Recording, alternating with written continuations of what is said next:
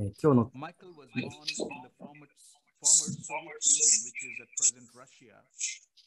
えー、ン先生は旧ソ連で生まれました。今ロシア領のところなんですが、え、先生はホロコースト生存者の両親のもとにお生まれになりました。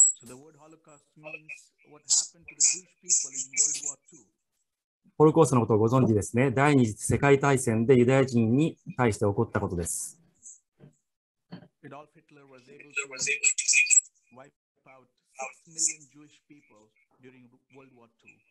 第二次大戦中ですね、ヒトラーが600万人のユダヤ人を虐殺しました。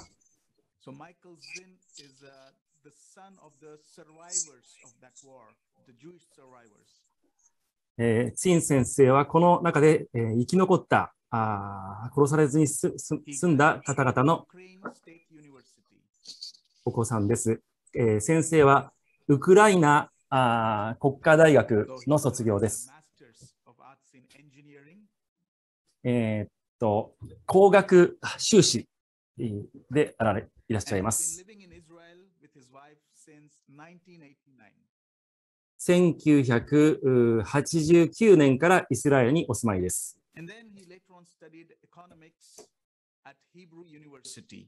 その後ヘブ,ラ,ル大学ヘブライ大学で経済学を学ばれました。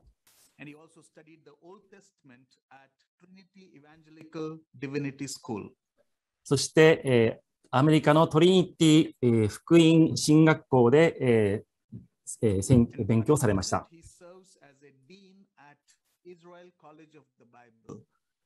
先生は今、えーイスラエル聖書大学の学部長ですかね、ディーンでいらっしゃいます。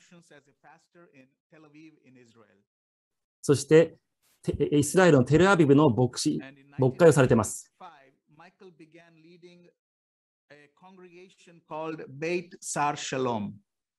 95年からベイト・サル・シャロームというコングリゲーションを牧会されています。その意味は平和の君の家です。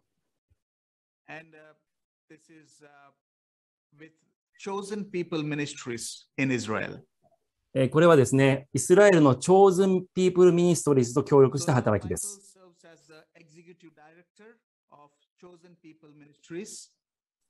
先生は今、この Chosen People のイスラエルの代表者でいらっしゃいます。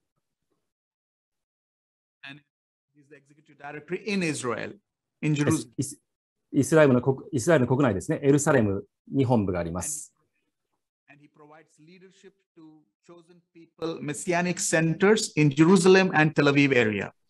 そしてエルサレムとテルアビブ地域の、え、チョーズンピープルメシアニックセンターを監督しておらます。えー、皆さんいるところで、えー、と拍手で先生をお迎えしてください。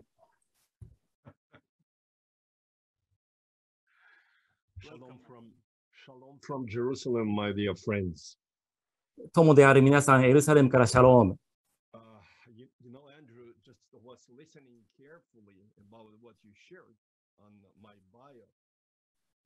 アンドル先生が私の紹介してくださるのを聞いておりました。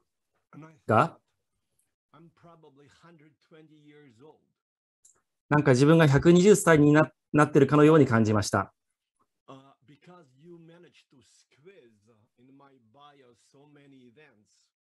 私の経歴の中にたくさんのこと言ってくださいましたね。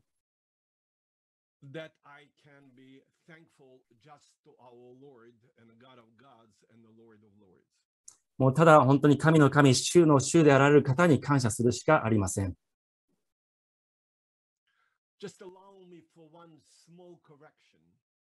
一つだけ、え、ちょっと訂正させてください。私の、えー、とせファミリーネームはツィンですね。ツィンじゃなくてツィンです。え、これは7回出てくるな、聖書に7回出てくる名前なんですね、ツィンは。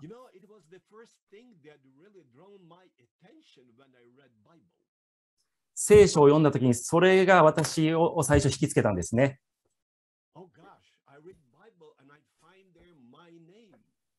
お聖書を読んだら私の名が出てきたと。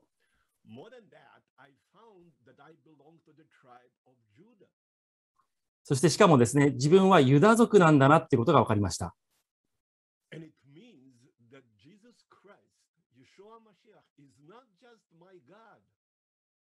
イエス様が単,単に私の神でいらっしゃるだけでなく、主でいらっしゃるだけでなく、私の友でいらっしゃるだけでなく、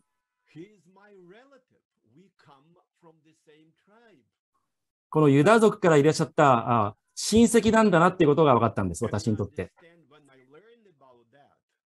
それを私が知ったときに、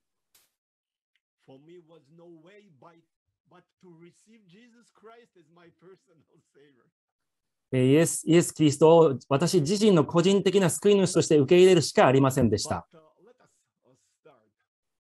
え、お話を始めたいと思います。え、べ、てのことを祈りで始めたいと思います。天のお父様、イスラエルの神、また諸国民の神様、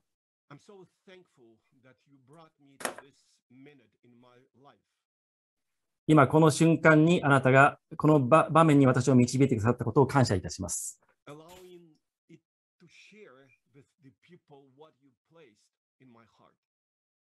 えーえーあなたが私の心に置いてくださったあ皆さんに分かち合うことができることを聖霊様を歓迎いたします。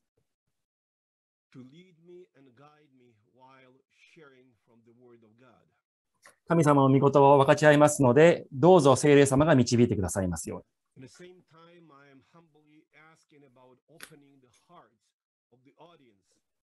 そして、えーへりくだってお願いします。聞く皆さんの心を開いてください。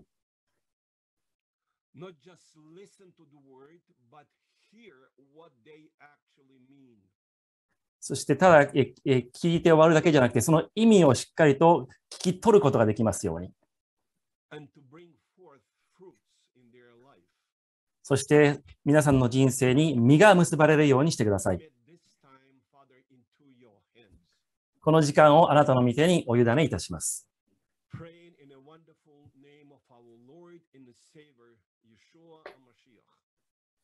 私たちの主、また救い主でいらっしゃるメシア、イエシュアのお名前によってお祈りいたします。アーメン。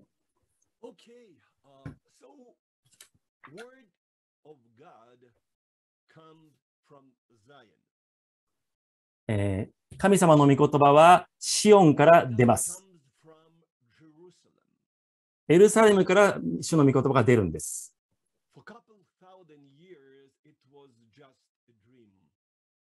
それはですね、過去数千年は夢のようなことでしたが、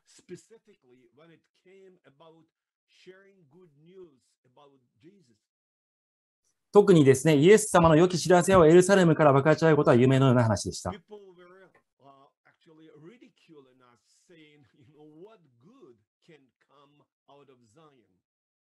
人々は、えー、シを見下して、馬鹿にしていました。何が出てくるだろうと、シオンから。しかし、今日、私たちは予言が成就するのを見ています。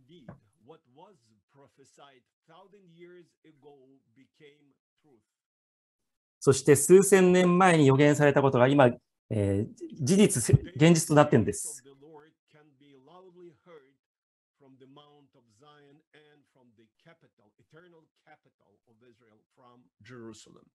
現実化しているんです。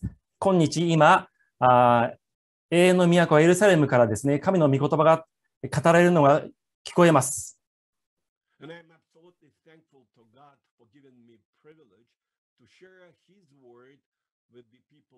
Japan, Korea, Taiwan, Singapore, India, and many others. そして今ですね、日本など様々な国の方々にこの御主の御言葉を分かち合えることをもう私は感謝するしかないです。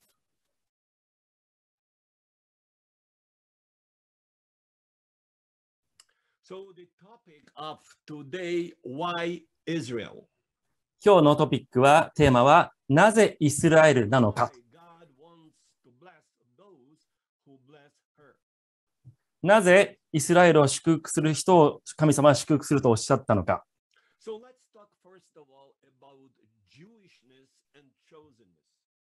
では、まずですね、ユダヤ人であるということ、そして選ばれたということについて話したいと思います。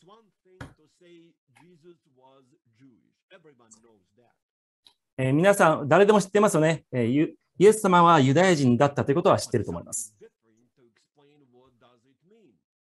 しかし、その一体それにはどういう意味があるかっていうことを説明するのはちょっと別の話になりますね。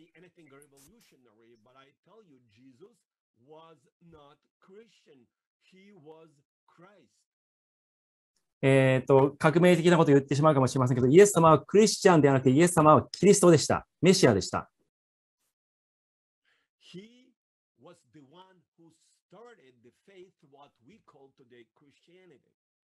えー、今日私たちがキリスト教徒、キリスト教徒を呼んでいるものを始めたのがイエス様ですね。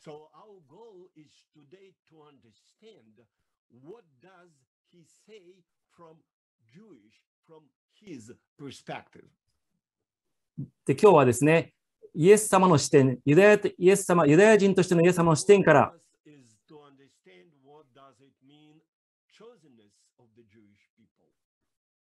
を守いたいですね。そして、えー、ユダヤ人が選ばれたとはどういう意味かを学びたいと思います。えー、20年ぐらい前の話ですが、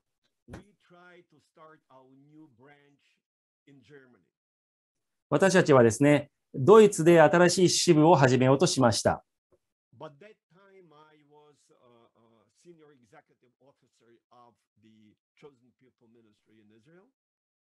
当時ですね、私はエルサ、えーっと、チョーズンピープルミニストリーズのある役職についてたんですけども、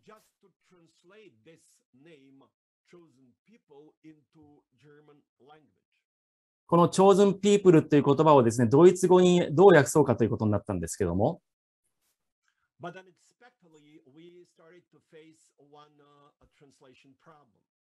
えー、も翻訳についの時に問題に直面したんですね。ドイツ語ではですね、選ばれたっていうのはですね、エリートを意味しちゃしてしまうんですね。特権階級を意味してしまうんですね。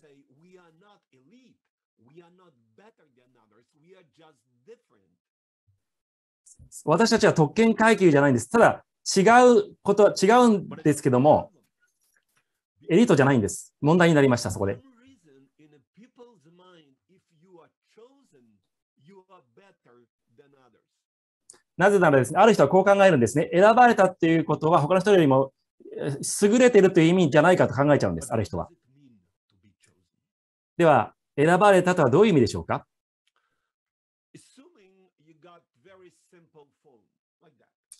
えっとですね、小さな電話があると思います。考えてみてくださいえーこれの電話にですね、バッテリーが切れてしまったと。It does have battery, but doesn't have contact number inside. またはですね、バッテリーはあるけれども、そのパスワードがわからないということ。世界で一番高いスマホかもしれませんが、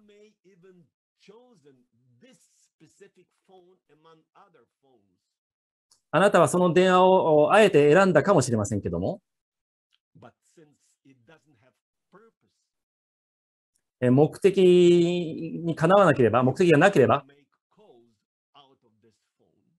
あえっと、それから電話をかけることはできませんよね。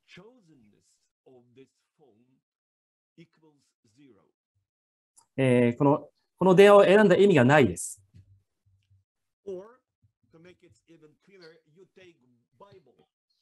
ではも、えー、また別のシンプルな例ですけど、例えば聖書を持ってても読めないとしたら、What makes this Bible is your ability to read and to digest the word. えーそしてその読んでですね、自分に取り込むことができないならば、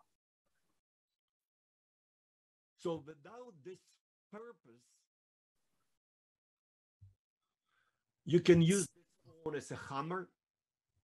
ああ目的が外れたらですね、この電話をハンマーに使うことかもしれないし、皿として使っちゃう。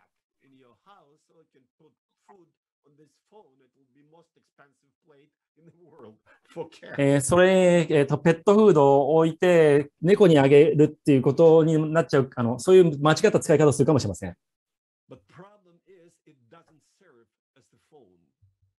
しかし、その時は電話として機能してないですね。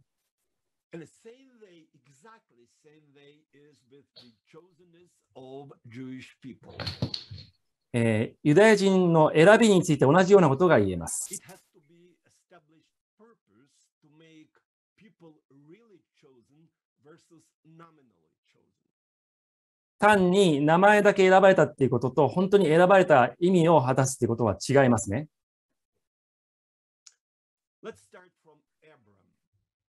えーアブラハム、アブラムから始めましょう。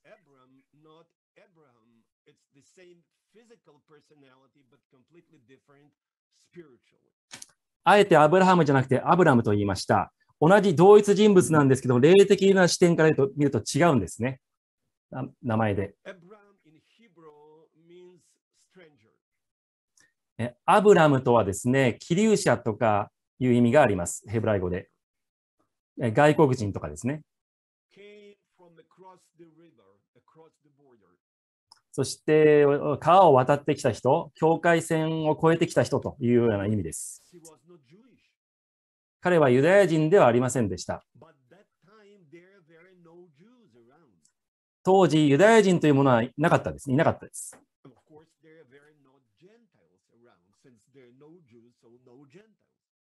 またですね、ユダヤ人がいないから違法人というのもなかったですね。がそういう概念がないですから。このアブラムが神様から呼ばれました。召されました。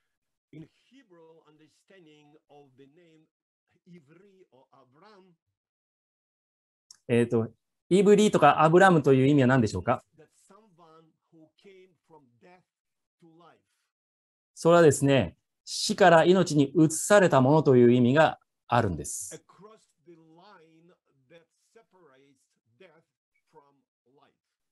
死と命を分けるその境界線を越えてきた、越えた人と、彼はこの境界線を越えたんです。彼はユダヤ人でも違法人でもありませんでした。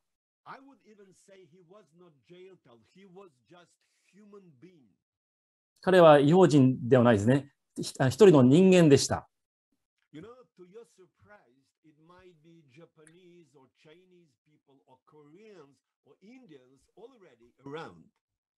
皆さん、すでに当時ですね、ユダヤ人あ違法中国人とか日本人とか韓国人という人たちはいたと思います。けども、でもユダヤ人はいなかったんです、当時神様が彼を呼ばれました。but he was one of many idol worshippers. by that 彼は当時のたくさんの偶像礼拝者の一人でした。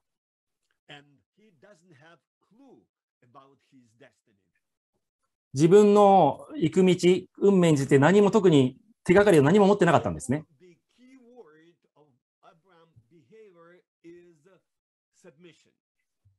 えー彼の、えーキーワードは服従です。従うっていうことですね。Let me read this famous passage from Genesis 12, 1 through 3. えー、と彼の人生を見たいと思います。創世紀12章の1節から3節です。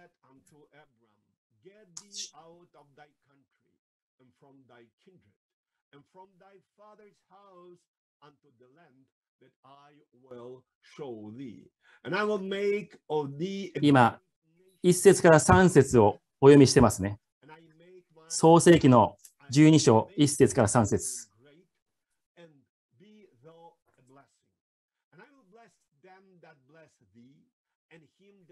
3節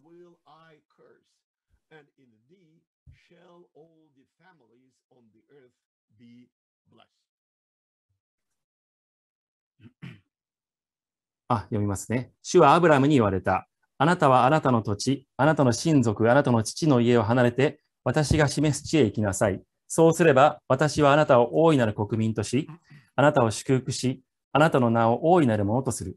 あなたは祝福となりなさい。私はあなたを祝福する者を祝福し、あなたを呪う者を呪う。地のすべての部族はあなたによって祝福される。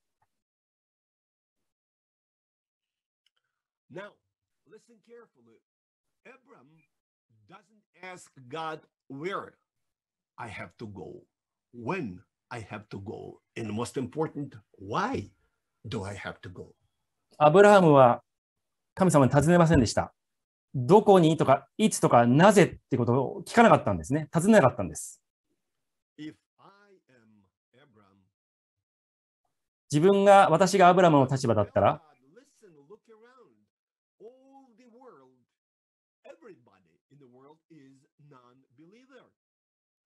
当時ですね、周りの人たちはみんな未信者、神様への未信者だったんですね。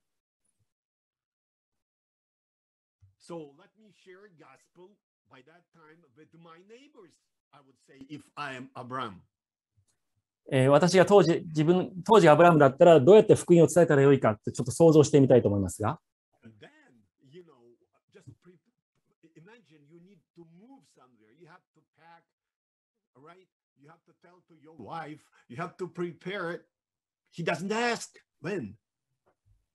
そしてですね、周りの人に、無人は引っ越す,引っ越すよと、家内にも言うわけですね。でも、いつとかそういうことはわからわからない聞か、聞かされてないんです。ですけど、どういうわけか、アブラハムに、アブラハムにとっては、いつとかいうことは問題にならなかったんです。それを信仰と呼びます。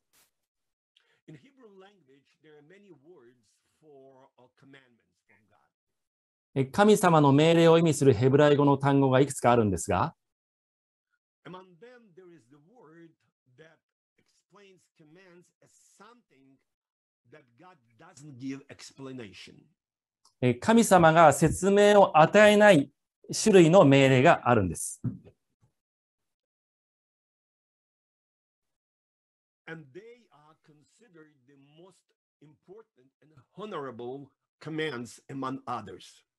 その,そのような命令が最も名誉ある命令だというふうに、言われます。そうです。はい、しようそしてしますという、そういう種類。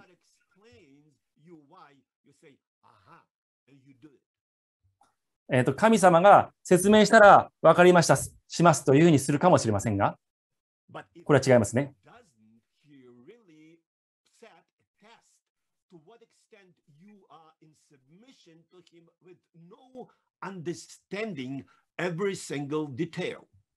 細かいことがわからなくても理解できなくても、とにかく従うということを神様はえーテストされてるんです。最も名誉ある命令なんですね、これが。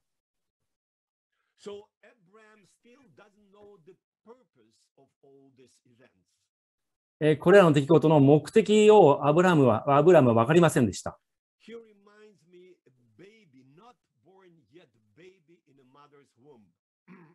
えーまだ生まれていない体の中の赤ちゃんにのことを私はそれをれそれで連想します。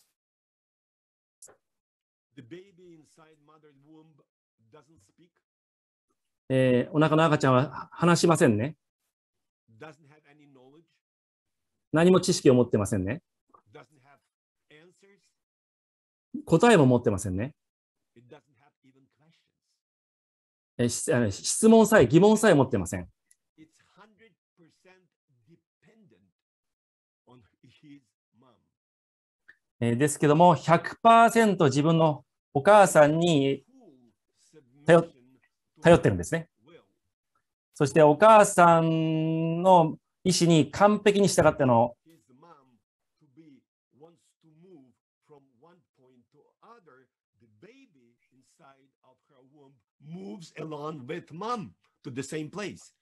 そうですね、完璧にお母さんに従って生きてるんですね。お母さんが行くところに自分も行きますね。If you ask baby why, baby has no idea. えー、赤ちゃんに聞いても赤ちゃんは全く分かりませんよ、そんなこと。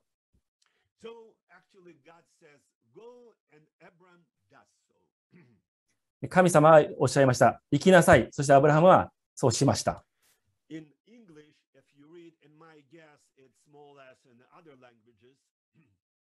英語で、えー、考えてみたらですね、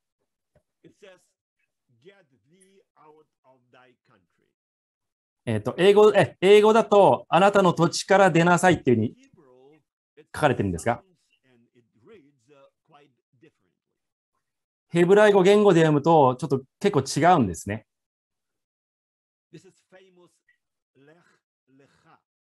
これは、レレハという言葉なんですけども、Wonderful. And it means go to yourself. えっ、と、自分のところに行きなさい、あるいは自分で行きなさい。あ、自分のところに行きなさい。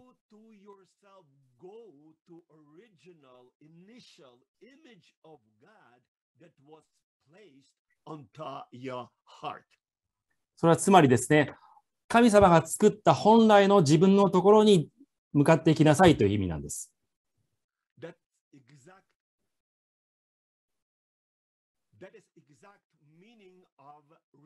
repentance. That in Hebrew means returning to the beginnings. それが悔い改めるということの意味でもあります。初めのところに戻るということですね。 So, very first A block of to be chosen is to repent before God and to return to initial sinless イメージ of God in our heart.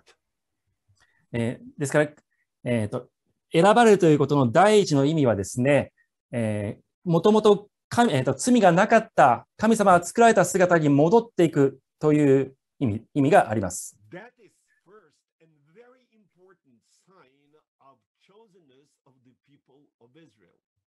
それこそがえ、イスラエルが選ばれたということの最も第一の意味です。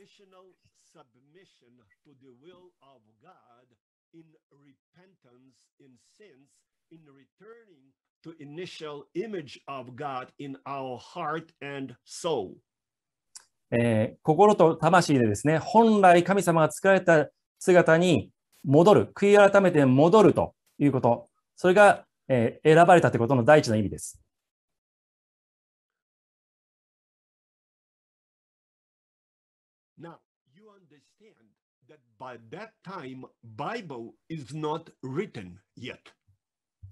皆さんは分かると思いますけども、聖書はその当時まだ書かれていませんでした。ありませんでした。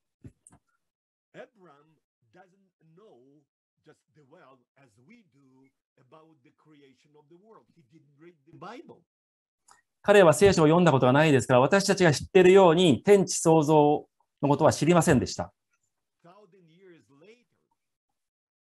えー、その数千、あ、千年後ですね。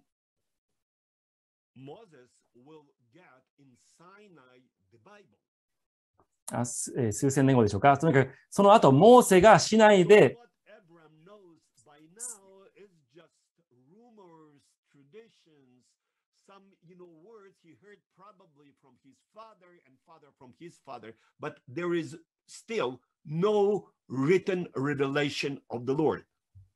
えーですから聖書は読んでなかったんですね。その先祖とかから聞いてたかもしれませんけども、でも書かれた天地創造の話は知らなかったんです。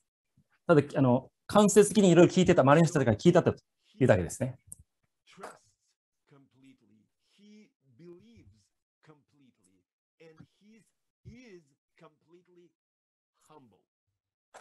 そして彼は完全に服従して完全に従ったんですね。で、本当に完全にへりくだったんです。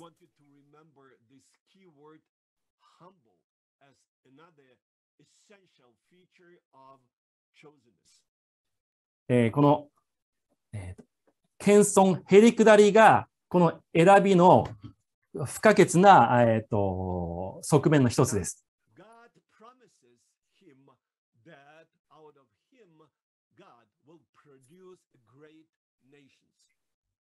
神様は、え彼からですね、大いなる国民と、彼は大いなる国民すると約され約束されました。しかしその時その時ですね、彼には子供がいませんでした。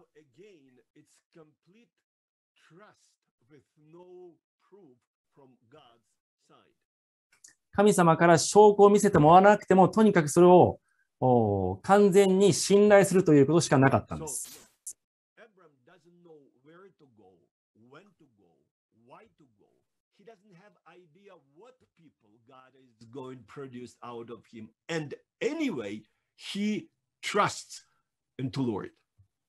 彼はですね、なぜ行くのか、どこに行くのか、いつ行くのかということを知らずに、どういう国民になるかということも知らないままですね、それをし神様とにかく信頼して、出ていっただけなのです。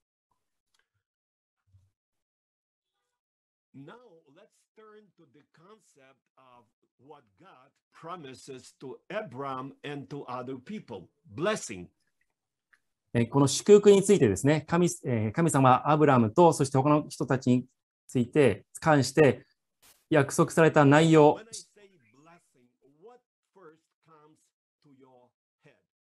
について考えたいんですけども、祝福という言葉を聞くと、何がまず皆さんには思い浮かびますか？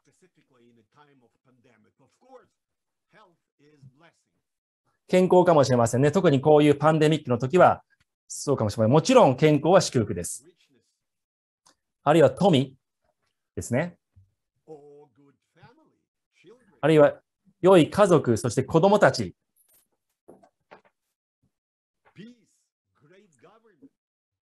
平和、またちゃんとした政府、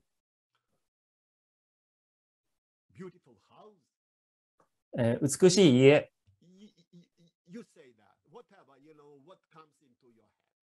そ,ういろんなことがね思い浮かぶと思,います。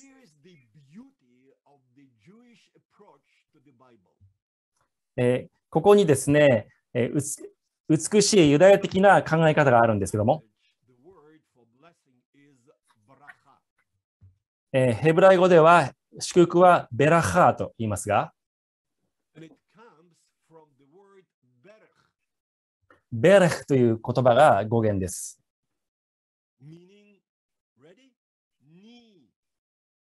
それはですね、あのいつでも膝をかがめて、あ、Meaning, You know, the praying on your knees is ultimate expression of your blessing.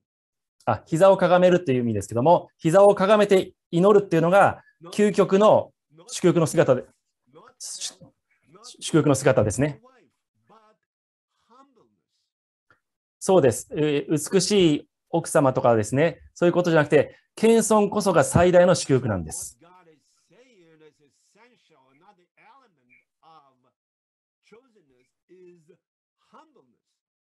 そうです。この選びの重要な側面は謙遜です。今私が言った言葉を皆さんが受け取ってくれるならば、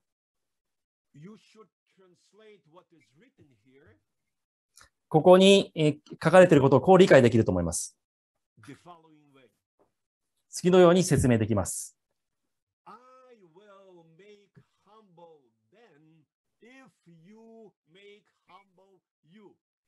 I will make you humble if you try to humble other people, to make them humble. 他の人たち、えっと、なんですかね。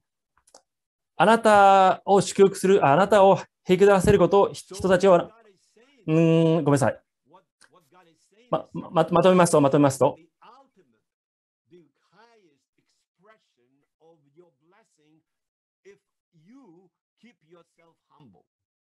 とあまとめますとですね、あなたが自分を謙遜に保つなら、それが祝福なんだと。それによって他の人も祝福がいくと。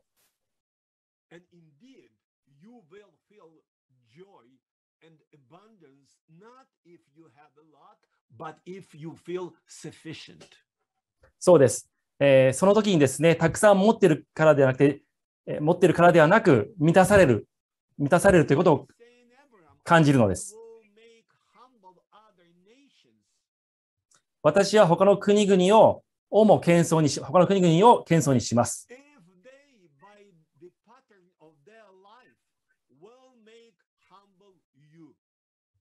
そして、えー、ごめんなさいね。彼らの謙遜によってあなたも謙遜にされたならばですか？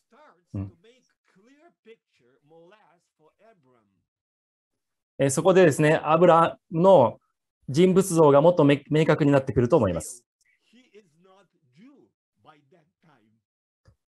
この時点でもまだアブラムはユダヤ人じゃないですね。それは将来起こることです。まだです。えー、そ創世紀、えっ、ー、と、創世紀、創世記の17章の4節5節ですが、 God says, As for me, behold, my covenant is with thee, and thou shalt be the father of a multitude of nations. Neither shall thy name any more be called Abram, but b- thy name shall be Abraham, for the father of multitude of nations have I made thee. 創世記17章4節5節これがあなたと結ぶ私の契約である。あなたは多くの国民の父となる。あなたの名はもはやアブラムとは呼ばれない。あなたの名はアブラハムとなる。私があなたを多くの国民の父とするからである。これ複数形ですね、国民は。Still by that time, Abraham, or already Abraham, he doesn't ask God, え、この時にはやっとアブラハムになりますけども、どういう国々かってことは分からなかったんですね。何のことか。え、国々の父、私はまだ子供がいないんですよ。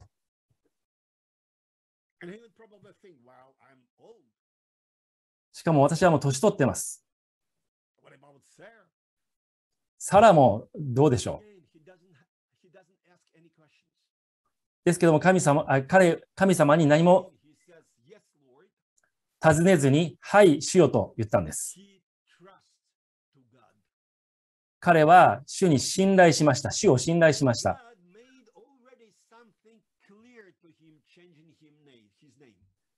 そして神様は彼の名前を変えることによって、あることを明らかにされたんです。The years, years, thousand years after, in the book of Exodus, chapter 19, verse 6, えーっと、そえーっと、出エジプト記出エジプト記の19章の6節この後のだ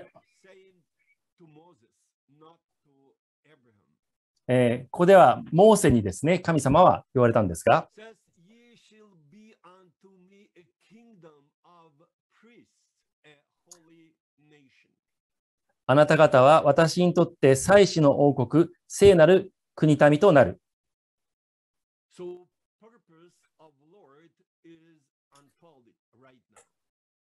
神様の目的が、主の目的が明らかにされてきました。神様は一人の人間を選ばれまして、彼に悔い改めさせました。to return to initial state of sinlessness, え、罪のない最初の状態に戻るようにとですね。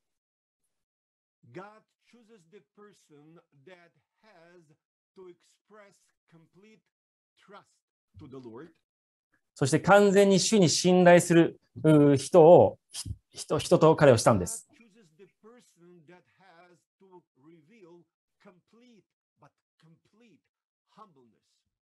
そして、えー、完全な謙遜を示す一人の人物を選ばれたんです。それは他の国々のためでした。この完全な謙遜を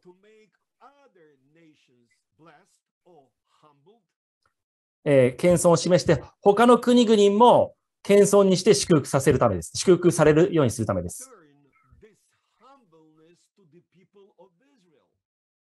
そしてこの謙遜さをさらにまたそれをイスラエルのために返すように。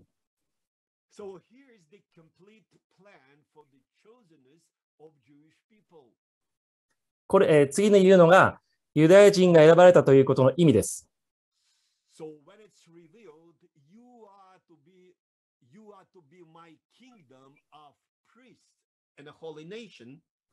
選ばれたら、えー、祭祀の王国、聖なる国民となるのです。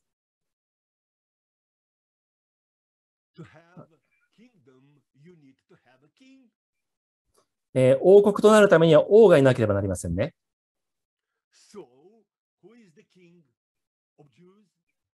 では、ユダヤ人の王とは誰でしょうか？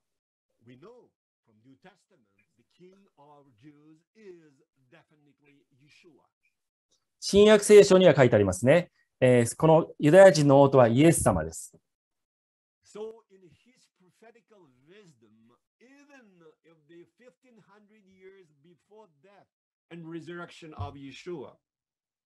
イエス様の死と復活の500年以上前の話ですけども、啓示が与えられまして、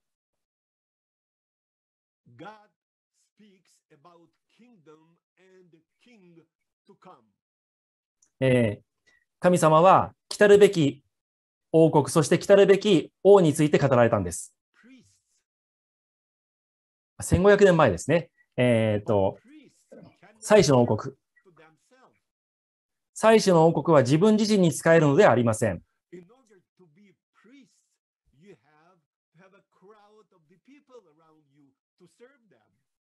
祭祀の王国となるためには自分たちが使える相手となる国々がなければなりません。王がいらっしゃいまして、王がいて、その、えー、祭祀の、祭祀の王国ですね、アブラハム、イサク、ヤコブの子孫たちです。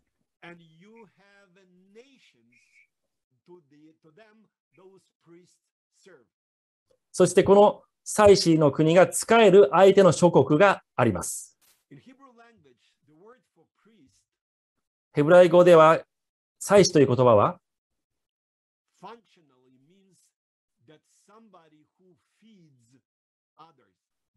これはですね、他の人々を養う人という意味なんです。の言葉なんです。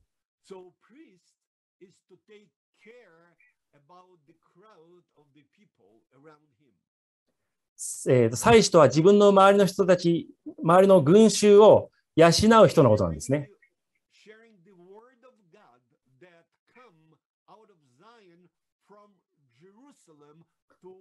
Other nations to make them humble and return this humbleness to Jewish people in order them to be blessed. シオンから出てくる御言葉を、ま、周りの人たちに、国々に分かち合って彼らを謙遜にさせて、そしてその謙遜さが彼、またイスラエルに戻ってくるようにする働きです。それによって祝福を皆が受ける。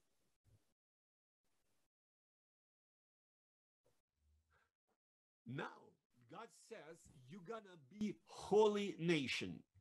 神様は言われましたね。聖なる国民となると。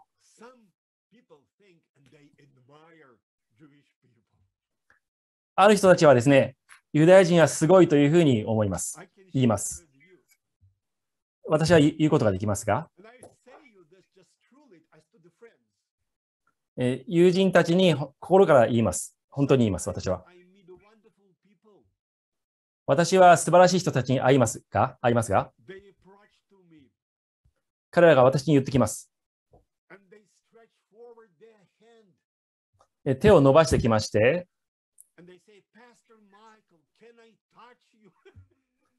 マイケル先生、あなたに触ってもよろしいでしょうか？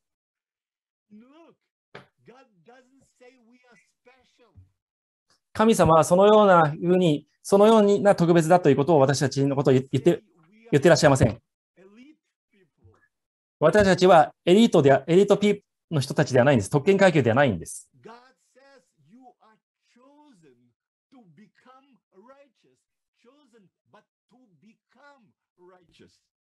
私たちはですね、えっ、と、正しいものになるように選ばれたんですね。正しくならなきゃいけないんです。選ばれたら。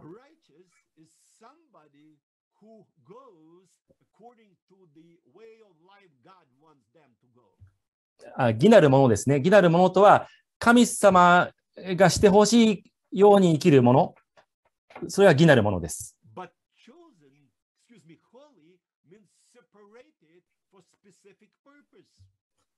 聖という、聖なるというのはですね、ある目的のために取り分けられたという意味です。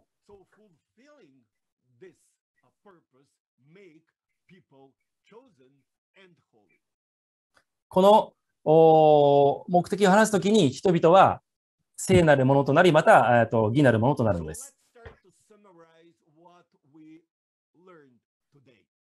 今日学んだことをまとめたいと思いますが、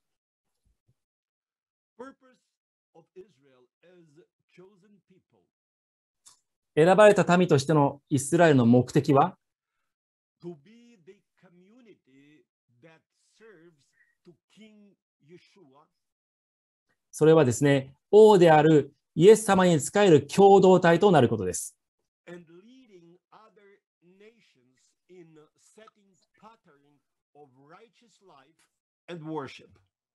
そして他の人たちにです。他の人たちが正しい人生を送ることができるように、その模範を表す国となることです。共同体となることです。それこそが、イスラエルが選ばれた民だということの意味です。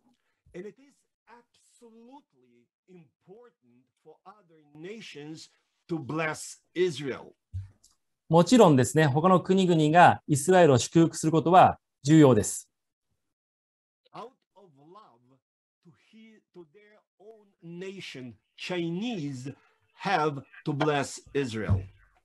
例えば中国の方々がですね、心から愛によってイスラエルを祝福することは大切です。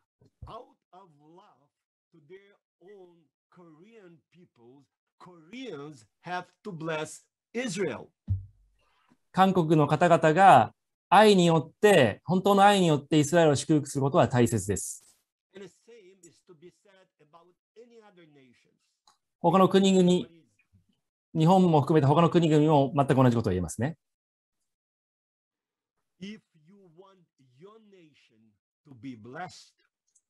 もしも自分の皆さんの国が祝福されたい、されてほしいならば.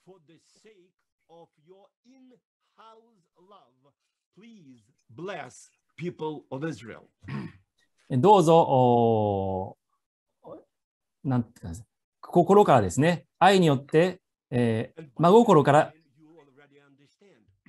イスラエルを祝福ししてください。皆さんはもう分かっていると思うんですが、Blessing Israel means to return humbleness you achieved in Yeshua, in Mashiach, to people of Israel.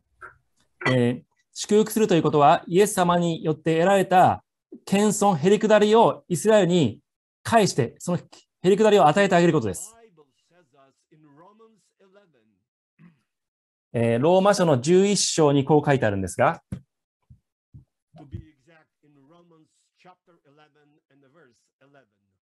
ローマの十一章十一節、新改革第3版の方でお読みします。救いが違法人に及んだのです。皆さんに及んだんですね。何のためでしょうか？皆さんの教会でフェローシップを楽しむためですか？それはもちろんそれもあります。素晴らしい。素晴らしい子供を育てるためですか？もちろんそれもそうですね。奥様を愛することができるようになるためですか？もちろんです。ちゃん,と政府に税金を納められるようにでしょうか？もちろんそうですね。しかし、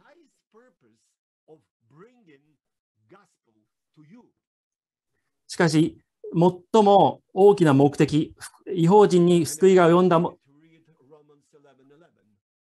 救いが違法人に及んだ最大の目的は、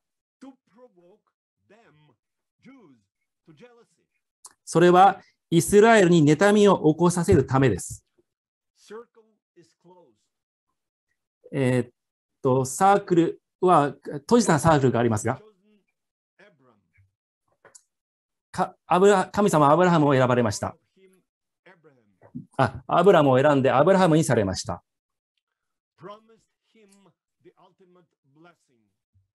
そして、究極の祝福を約束されました。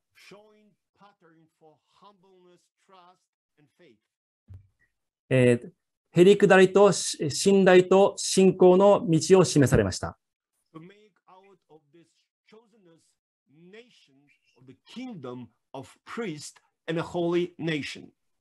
そしてそこからですね、彼らがあ聖なる国民、そして最初の王国となるようにしたのです。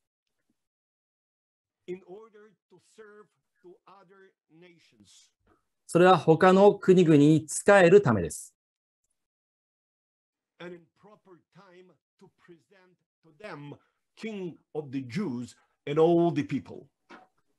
ふさわしい時にですね、このユダヤ人のすべての国ために示すためです。諸国に。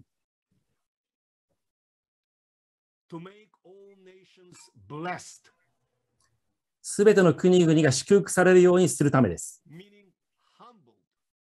つまり、へりくだれるようにするためです。According to the Romans 11, to set the pattern of life, the Jewish people again can return to position of Abraham えーローマの11章10 11の11のに従えば、そのようにまた、アブラハムの人たち、アブラハムたちがなれるように、アブラハムのためにはなれるようにすることです。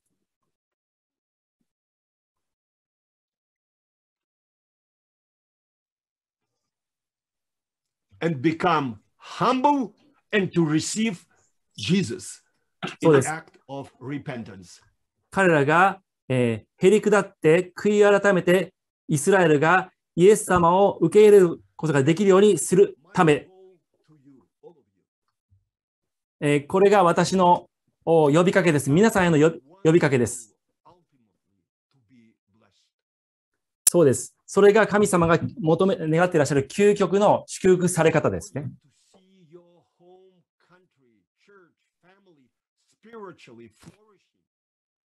皆さんのそれぞれの母国、また教会が霊的に祝福されるためには、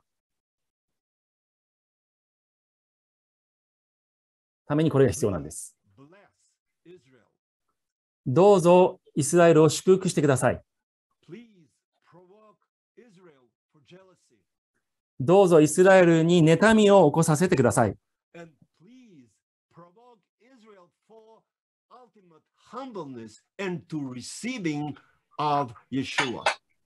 どうぞ彼らが本当にへりくだって、イエシアを受け入れることができるようにして,くだしてください。And then he comes. すると、イエス様。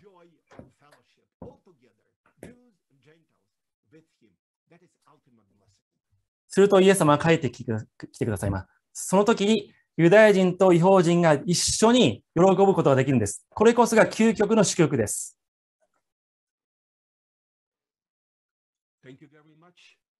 ありがとうございました。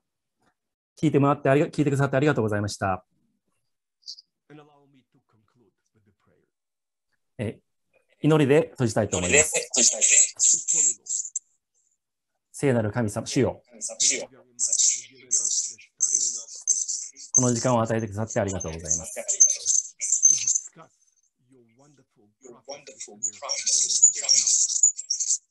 あなたの素晴らしい約束、そしてそれの成就について、えー、語ることができました、学ぶことができました。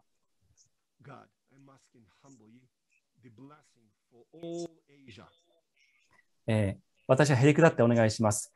全アジアを祝福してください。Your Holy Spirit just to make huge difference also in the eyes of Jewish people. またあー、ユダヤ人たちに大きな変化をもたらすことができるために、聖霊様を送ってください。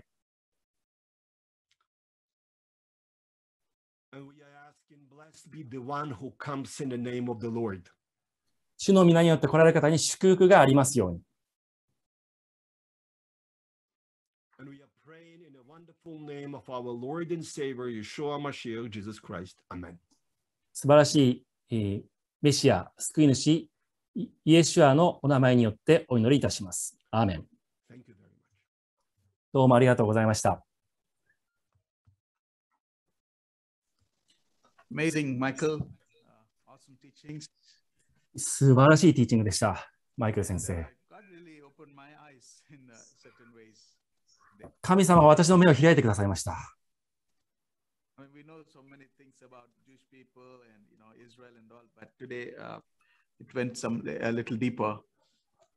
イスラエルとかユダヤ人についていると私は学んできましたけど、今日また深みに入れられました。主を褒めたたえます。私たちクリスチャンがイスラエルについて語る時に、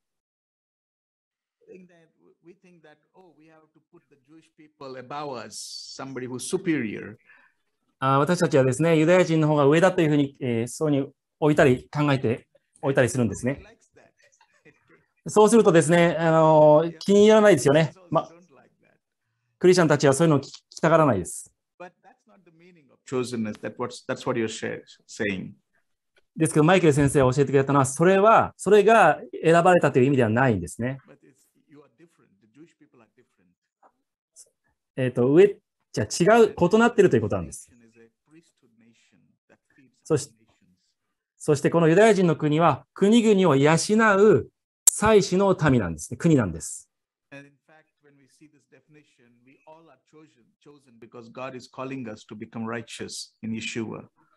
そして、この定義で考えてみると、私たち一人一人もイエス様によって選ばれてますので、選ばれたためですね。えー今日の先生のメッセージを皆さん、本当に、えー、とエンジョイされたことと思います。享受されたことと思います。